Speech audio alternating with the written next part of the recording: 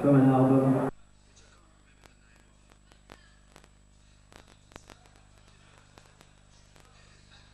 It's called Wish You Could Love Here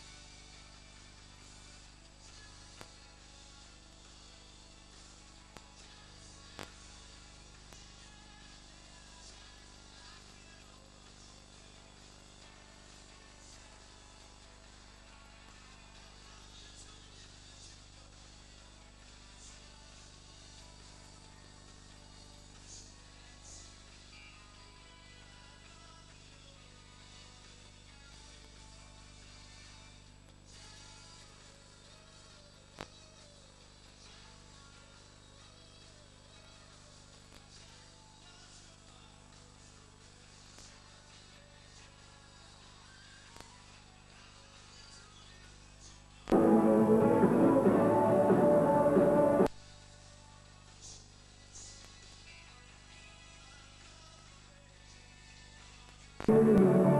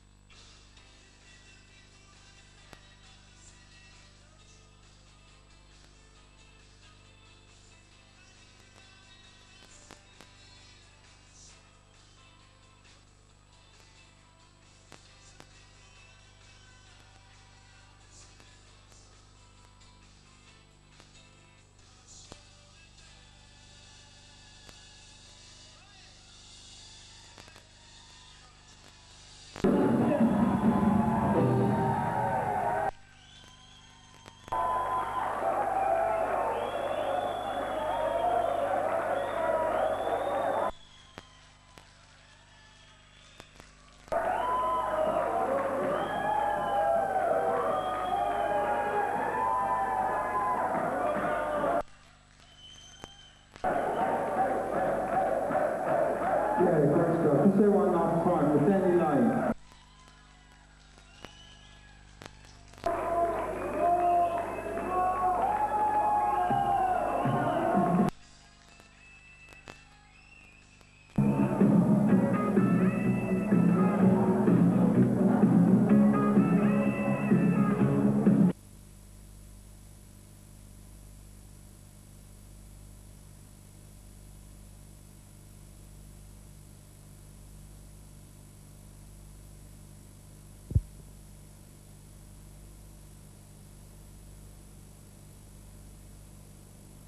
Here from Denny.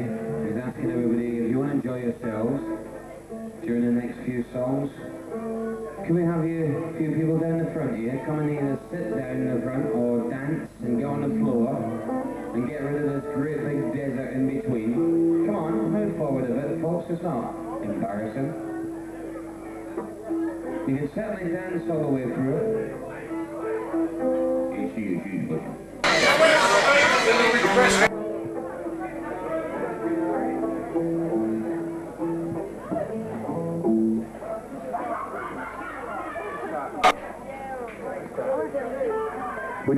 Welcome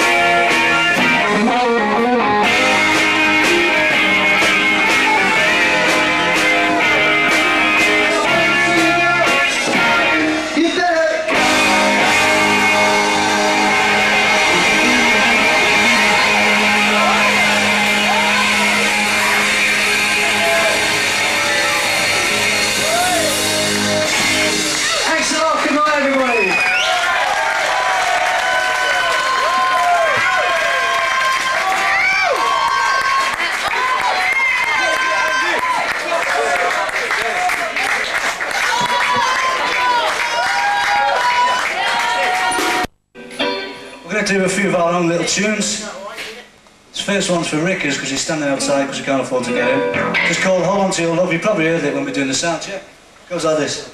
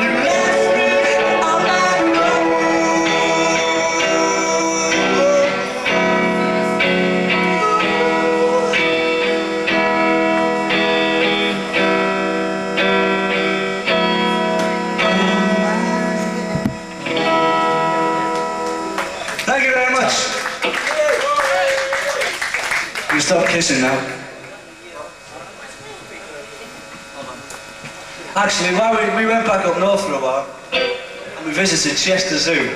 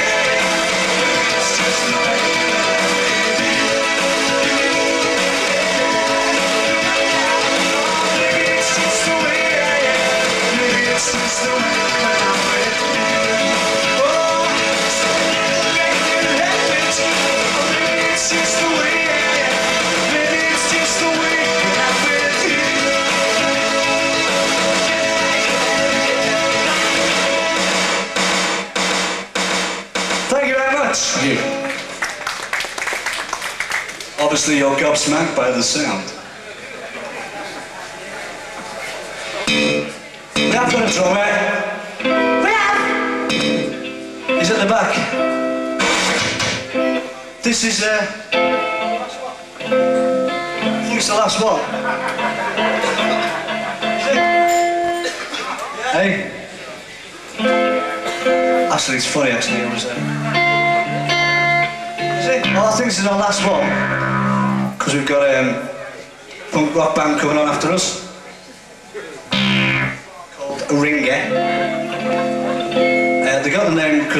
Madras Curry last night. This is eh, uh, an old one of ours, it's called Live and Live.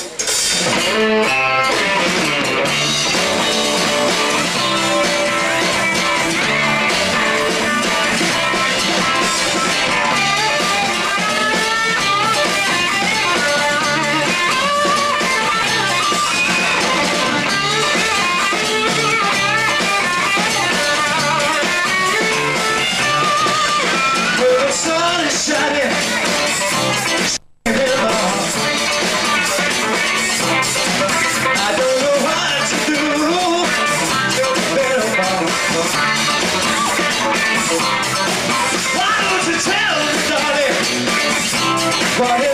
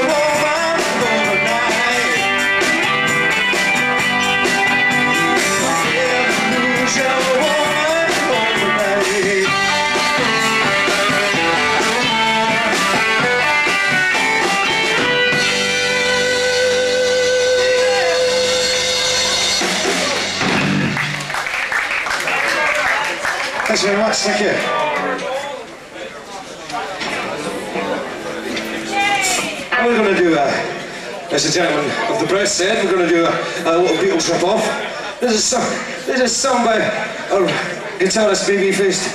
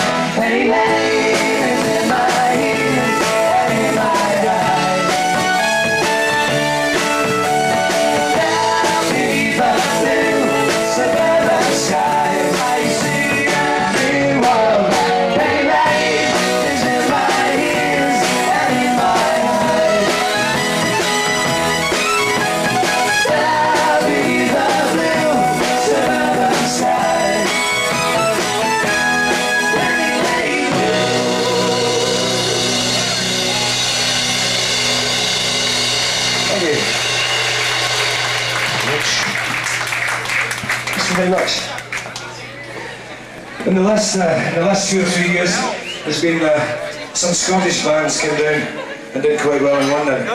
And some friends of ours, one's Danny Wilson, and the other is Ricky Ross of Deacon Blue, and also Marti and the lads from Wet Wet Wet. So here's a couple of tunes with some friends of ours.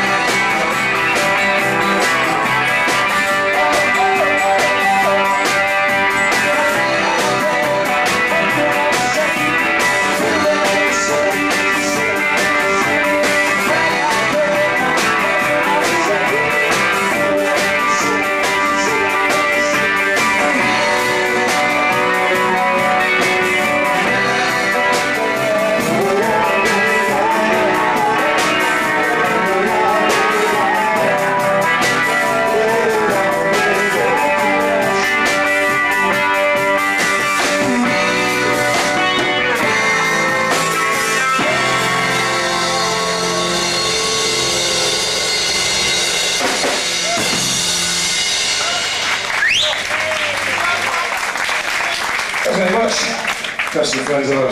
Jay Snobs, come on down.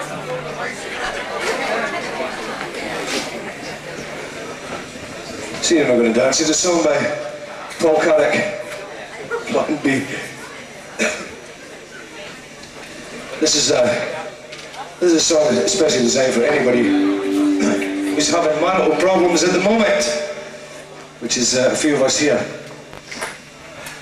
It's called Do I Still Figure in Your Life?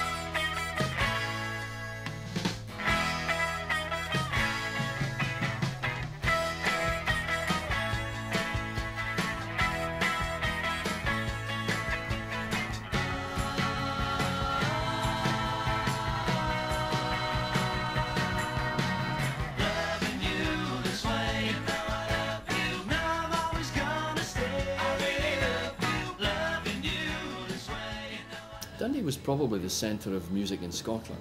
The Beatles in particular, through Andy Lothian, great promoter here. They've all been through Dundee. The Kinks, the Searchers, uh, Led Zeppelin, uh, Robert Plant. Uh, you can mention uh, most of the names that are around today, huge names.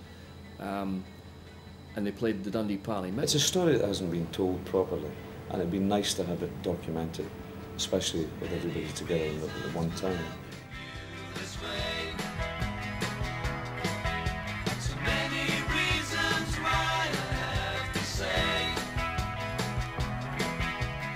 Oh, this is looking good. It's looking good, yeah. The Beatles, of course. The Beatles. Also, Paul McCartney and Wings were here on the 23rd of September 1975.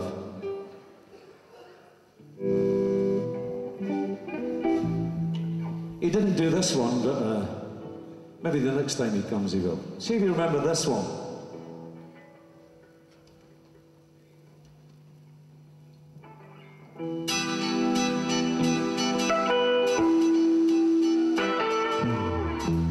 City, Dundee's got great links with music from the rock and roll era, um, the Beatles in particular. So, and strong links through um, Ringer, the band that I played in, in connection with Liverpool over the last 20 years. We, we used to be called the Poor Souls. This is the remains of the Poor Souls. Mr. McDonald put together all the bands, asked everybody to play, and we're all delighted to uh, to do this gig in the Caird Hall and hope it's a big success. Money was involved, so that was the first reason, first and foremost. But uh, after thinking about it for a while, it was worth it actually. Well, we've known uh, Steve McDonald three, four years. We played in Liverpool uh, three, four years on the trot in the cavern with Neil Innes and a couple of others, Pete Best. So Steve gave us a call and here we are. It's great to be here. I've been playing in bands for 40 years, and it's only two years, three years ago, it was the first time I ever played in the Caird Hall. I think Liverpool's got to be the best. I mean, it's there's something special about the city, and obviously it's where it all began. It's definitely special.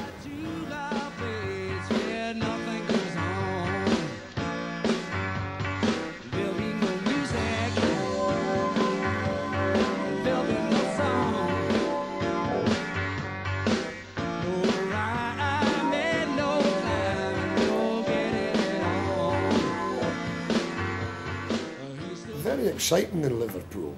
I've done the convention down there a couple of times, and um, you know they, they get people from all over the world. They get Chinese people, they get Americans, and so on and so on. So it's a big, big thing, you know.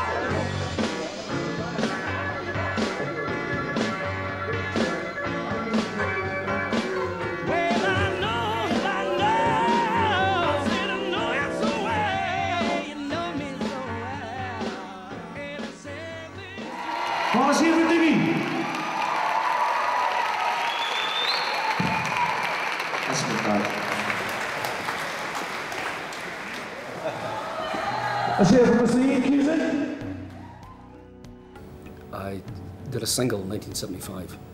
Uh, it was a thing called Shame, Shame, Shame, which was one of the first uh, big disco singles. At that time, it became a massive seller across Europe. And that was the starting point for Hamburg for me, you know, I just stayed there. And uh, did about 10 solo albums after that, you know, the, the course of 20 years. So it really became a second home. Well, when they first went to Hamburg, I was in the army and I was playing with the Forces band. Um, we met them once or twice, had a few drinks, um, as you do when you're young. and then we both went our separate ways. That was before, obviously, the, the full Beatles got together. They were then known as the Beat Boys, I think, or the Beat Brothers. Um, Lennon was there, obviously McCartney. Uh, Ringo wasn't in then, there was a previous guy called Stuart Sutcliffe. And then a previous drummer, which I can't, Pete Best, was it, I think? It was, it wasn't the original drummers. Um, practically grew up with those youth club sort of thing. All started playing together in the same clubs, pubs, bars. Um, the Black Cat comes to mind. We've all, I think everybody in Liverpool played the Gerry and the Pacemakers, the Big Three, you name it. A lot of those people are still going. I still meet them on my travels, but uh, I don't know. We, I don't think we'll ever get old. It's just one of those things. It goes on. It goes on and on, and it's magnificent. I know some of the people who worked with him, uh, Klaus Voormann, for example, who did the, the Revolver, drew the Revolver cover. Uh, I know Klaus quite well. Uh, but I've always been a fan, just a fan, the same as everybody else.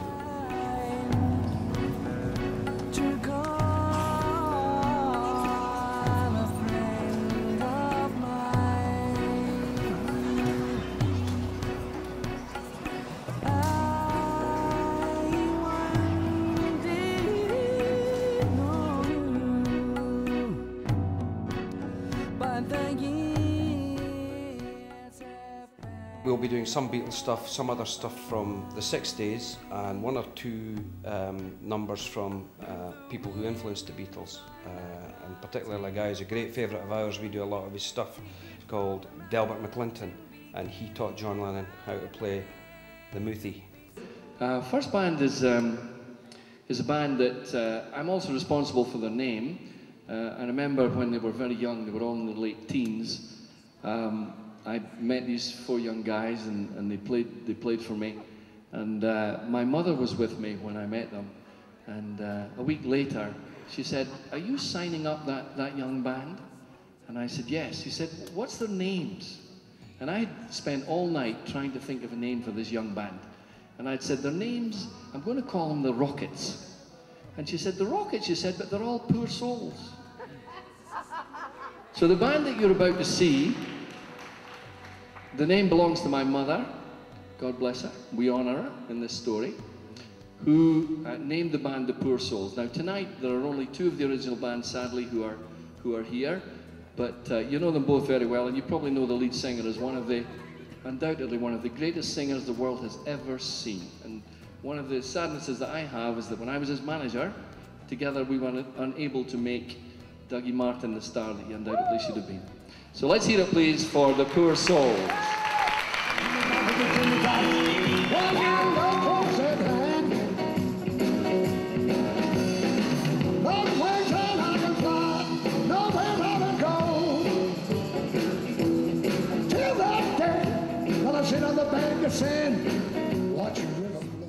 The, the stuff we'll be doing tonight, we did on the original concert, so it's memories again. Oh, it's going to be mind blowing. Well, it's uh, it's probably pretty relevant that it takes place in Dundee. Dundee's like Liverpool; it's the same sort of thing. Um, we've had great bands over the years, from the 50s right through to now. No age gap, uh, age gaps, no nothing. Um, everybody plays with everybody else. No snobbery, no ageism, no nothing. It's a great place to play in a band. If, if Dundee takes off, it could be a good thing every year as well. Let's hear it for the pubs. Grant, Billy, Gordon, Mike. The Junkyard Dogs, let's hear for the guys. Jerry, Donny, John.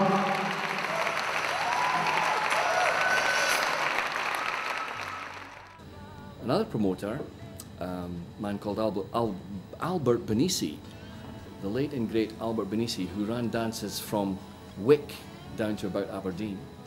I ran dances from Stonehaven down to Fife, and the third promoter was a chap called Duncan McKinnon, who ran dances from Edinburgh down to the borders.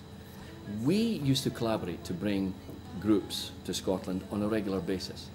But because I was the youngster, I was um, 23 years of age, I had a, an ear that was in, attuned to spotting records when they were about to become number one, perhaps, in the then called Hit Parade. One of the records that, that I liked was a record called Love Me Do that came out about November 1962. And so I phoned Albert and suggested that we bring this group called the Beatles to Scotland for 10 days. And we booked them for 10 days in January 1963. And they played mostly Albert's venues. Went out pretty well in most places uh, because they're, they're, had, they had a lot of humour. And the humour was evident even although we couldn't understand what they were saying. It was evident that, that, we, that they were a quirky band, their music was really interesting, the bass player was left-handed. All these strange things and they wore funny suits. So we may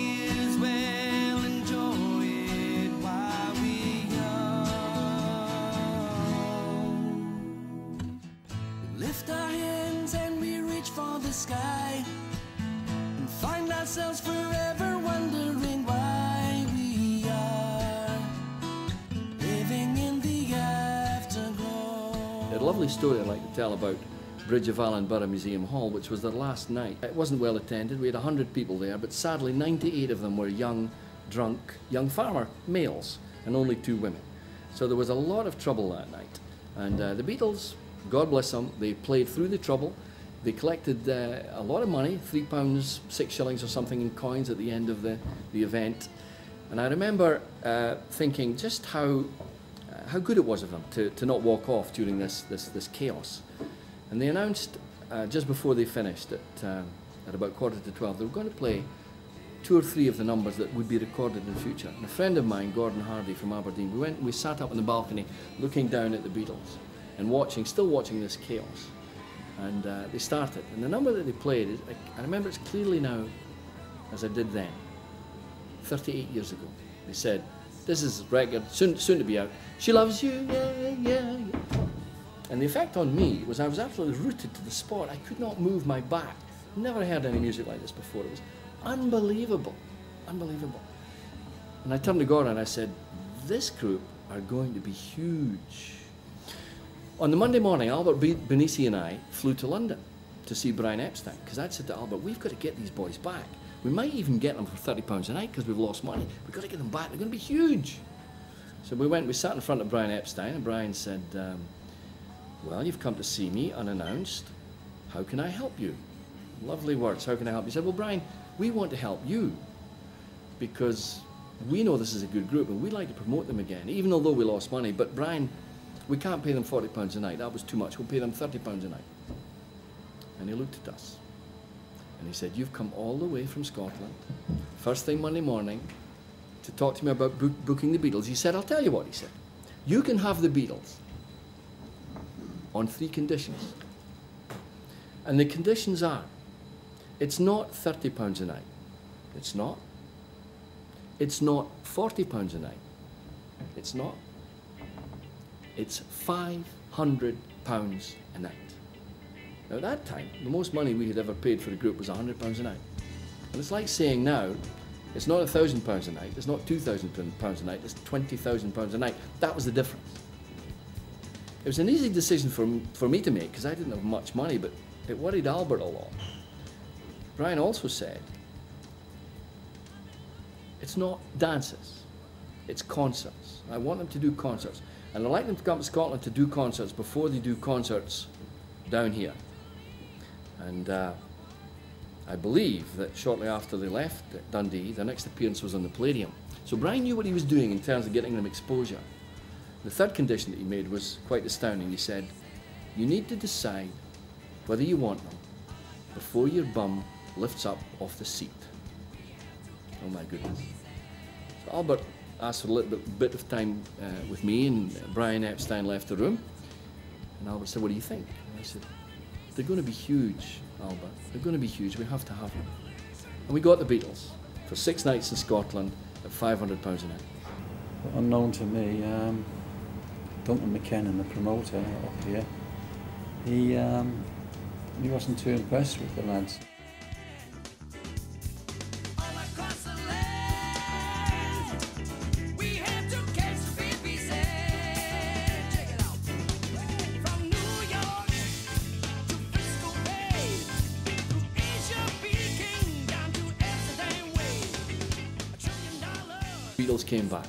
The Beatles came back.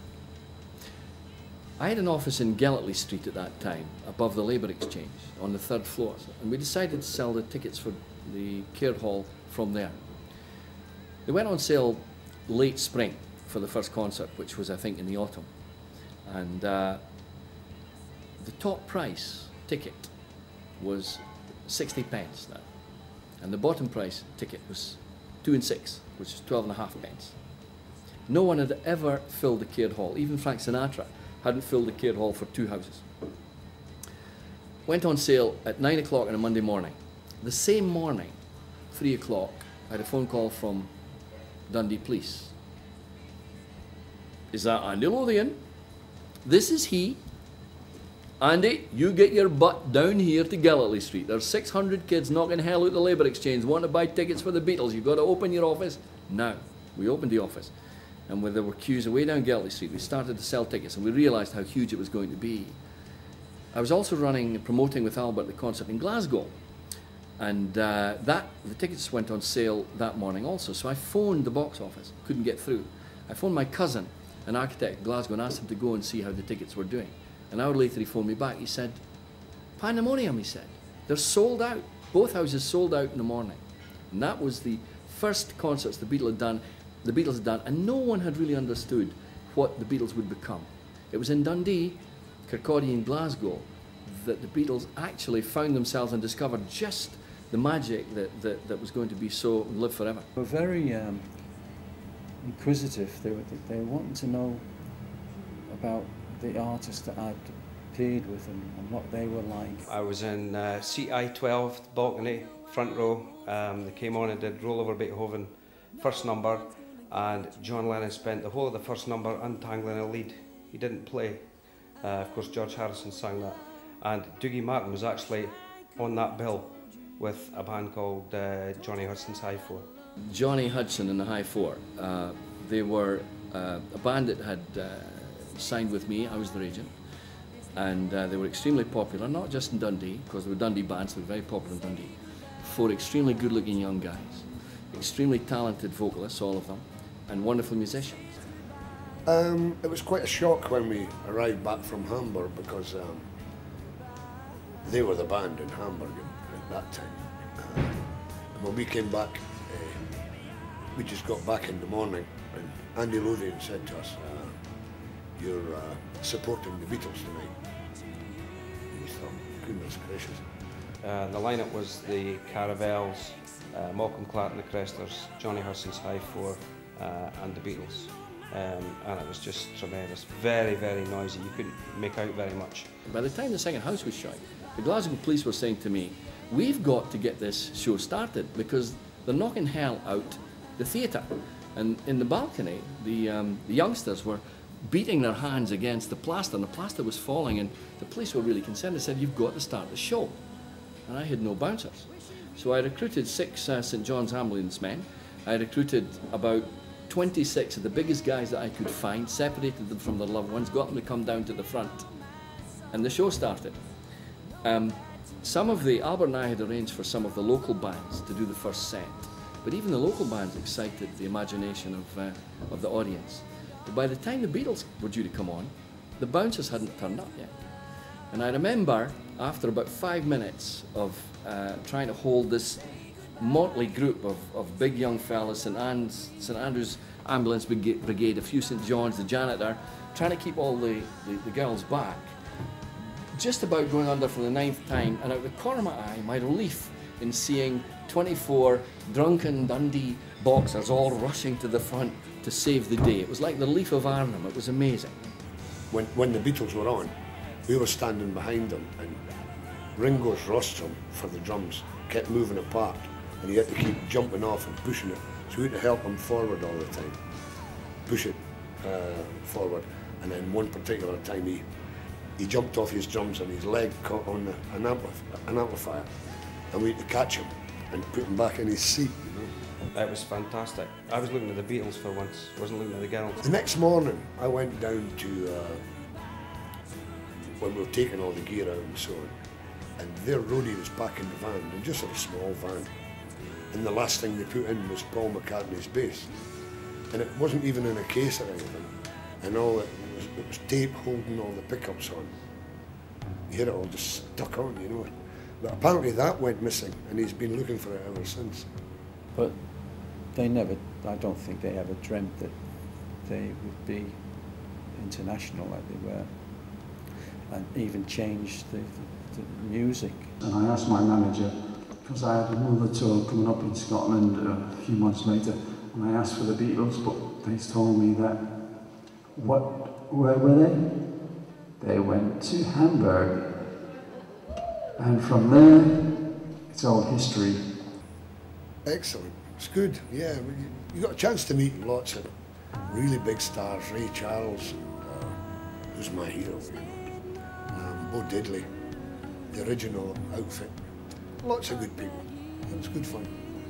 So, um, I said to John when, when I met him when he made it big, I said, uh, do you still want to be um, my backing group? And he went, Listen, guys. Mr. Chris Jones.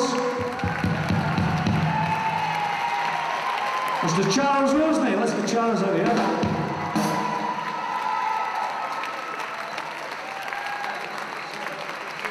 Mr. Mike Strachan. Let's get Mike out here. Yeah, let's hear from Mike. Until the 60s, there was individualism was an individualist. There was not a group sound.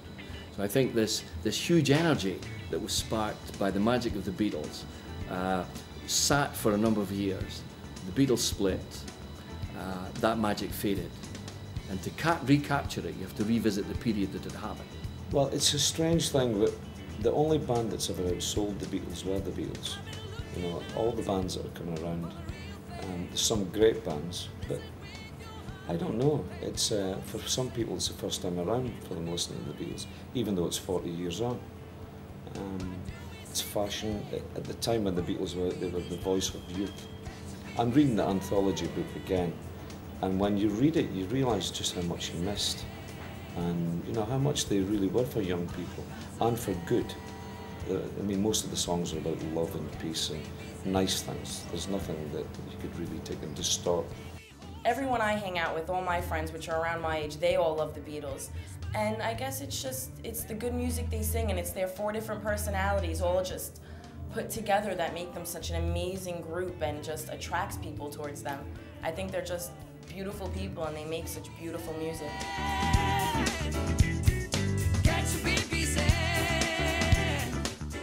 There's a tremendous Beatles influence in bands today, particularly since the guitar band boom of the last three or four years. I think because it's it, it just it stays with you. My parents that are in their late 70s love it. Uh, my kids love it. I mean, of course, I raised them on it, but they love it. And uh, on this trip, there are kids from 18 years old to 60 years old. And uh, but I was the prime age to just fall in love with them. I mean, I was 13. To many people, the Beatles physically are dead, but the music goes on. You start to realize that the main influence of those bands or the bands that I like are the Beatles. Listen to Oasis songs, you start thinking, you know, they're taking words from the Beatles, they're taking melodies from the Beatles, and it sounds great, but you might as well just go to the first where it initially came from.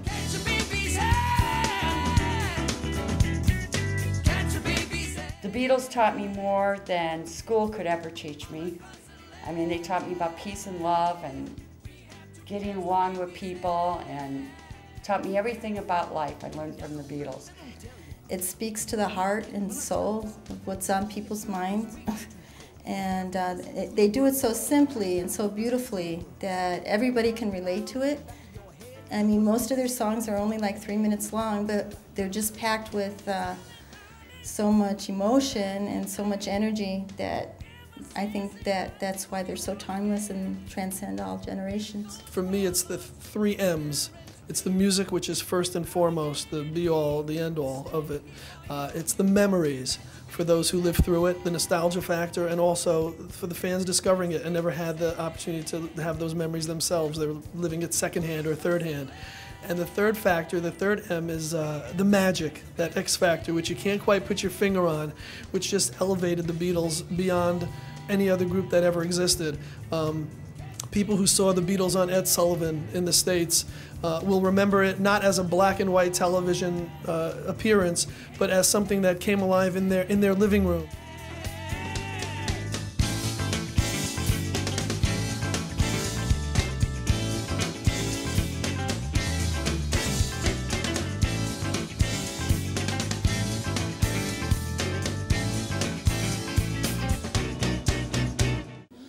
Success. Everybody said it. Was really good to see all the older musicians and the younger musicians together. Everybody's had a great time, and it was a big Dundee effort from everybody, and it's paid off. I think. I think next year will be really busy. It's definitely going to happen next year, but it'll be a one-day event a convention and a one-day festival. But this time we- we'll bring Japanese and South American. We'll just really mix it. I think the Americans, once they, they go to London and they take it, and they've really enjoyed the hospitality of the Scottish people. They've loved that. But I got to tell you, coming to Scotland has been wonderful. They've been going to Liverpool for many years now, and this is just that little bit different. So they're going to go to Liverpool next year, and next week, I beg your pardon, and tell everybody, you know, that, that Dundee's the place to be next year. It, it's been great. I've loved the weekend here. I love this place so much. I love this whole trip. I've only been on it for like three days, and it's so far it's great. It still amazes me, everybody I meet, new people, Americans, Scottish people, Japanese. It's just the one same ingredient. It must be happiness. I mean, music makes you happy, it makes you sad, it makes you want to dance, cry. It's the emotions, I suppose. There was no hype, in fact.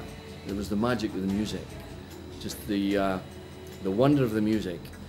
I can't recall any other music prior to that that had such an impact on the population. Everyone loved it. Everyone loved it. Uh, despite um, the age difference, even the parents loved the music.